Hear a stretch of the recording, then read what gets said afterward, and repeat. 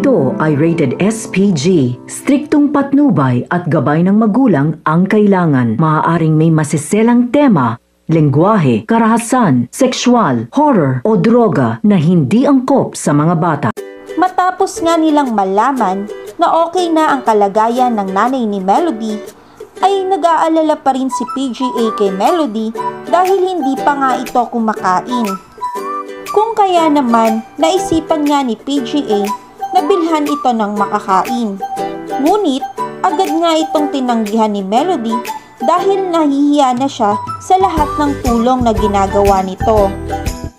Kung kaya naman, agad na tinanong ni PGA si Conrad kung ano nga ba ang paboritong pagkain ni Melody upang hindi na nga ito matanggihan pa. Agad niyang sinabi ni Conrad na hindi niya alam kung ano ang paboritong pagkain ni Melody. At bigla na nga lang naalala ni PGA ang palaging kinakain ni Melody na agad niyang ipapabili kay Conrad. Ilang saglit pa ay nagpaalam naman si Melody na lalabas muna ito upang makapagpahangin.